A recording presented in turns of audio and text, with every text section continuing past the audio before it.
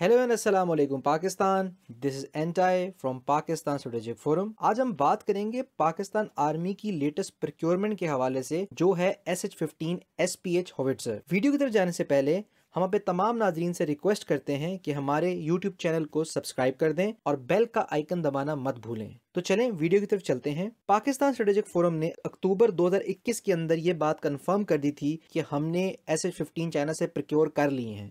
तो हमने सोचा कि क्यों ना हम इसके करेक्टरिस्टिक्स के ऊपर, इसकी तमाम स्पेसिफिकेशंस के ऊपर एक वीडियो बनाएँ, ताकि आपको पता चले कि ये हॉविट्जर किस तरह काम करती है, इसके क्या स्पेसिफिकेशंस हैं। तो चलें इसकी कुछ स्पेसिफिकेशंस की तरफ़ चलते हैं। एस एच फिफ्टीन जो है बेसिकली ये एक चाइनीज़ एस पी एच है। एस पी एच कहते हैं सेल्फ प्रोपेल्ड हॉविट्जर को। ये एडवांस्ड वेरिएंट है एस एच वन का।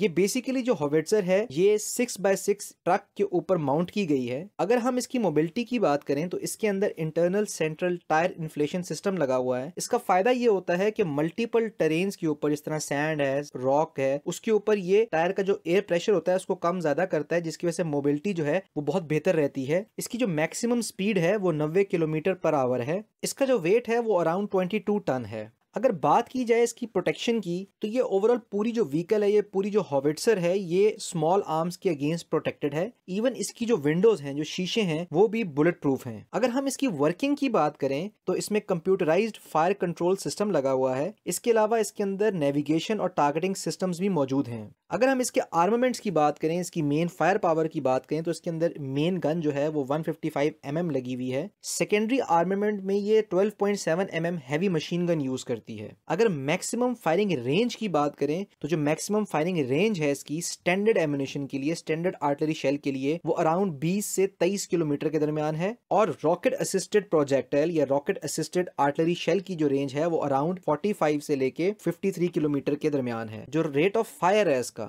वो है four to six round per minute यानी कि एक मिनट के अंदर चार से छह राउंड ये फायर कर सकती है। इसकी जो इंटरनल राउंड कैरिंग कैपेसिटी है, यानी कि जो इंटरनली ये अपने आर्टलरी शेल उठा के लेके जा सकती है अपने साथ। वो तकरीबन चालीस हैं, जिसमें स्टैंडर्ड आर्टलरी शेल्स भी शामिल हैं और रॉकेट असिस्टेड आर्टलरी शेल्स भी शामिल हैं। तकरीबन चार से पाँच बंदों का क्रू इसके साथ ट्रेवल कर सकता है।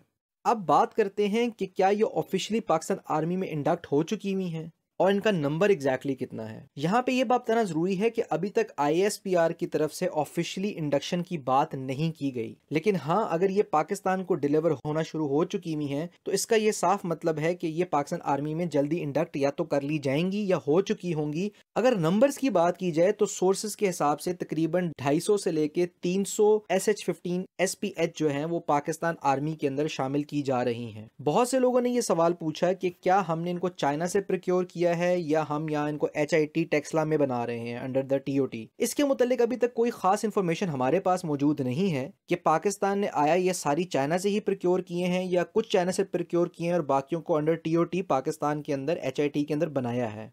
जैसे ही इस हवाले से हमारे पास कोई इन्फॉर्मेशन आएगी, हम आपको इनशाला अपडेट कर देंगे। हमें पता है कि बहुत से लोग ये चाह रहे थे कि G ten M E A H one G और अताक वन जिसको टी वन टू नाइन भी कहते हैं, उनके दरमियान एक कंपेरिजन वीडियो बनाए। और बहुत से कुछ जहाजों का भी नाम लिया गया हमारे कमेंट सेक्शन के अंदर कि उनके कंपेरिजन के ऊपर भी वीडियोज़ बनाए। हम इनशाला तमाम जो पॉसिबल कंपेरिजन वीडियोज़ हैं, वो इनशाला बना रहे हैं। जल्दी उनको अपने यूट्यूब चैनल पर अपलोड भी कर देंगे। आपके फीडबैक का बहुत शुक्रिया। इससे हमें बहुत मदद हासिल होती है। That would be all for today. This is Entai signing off. Pakistan Zindabad.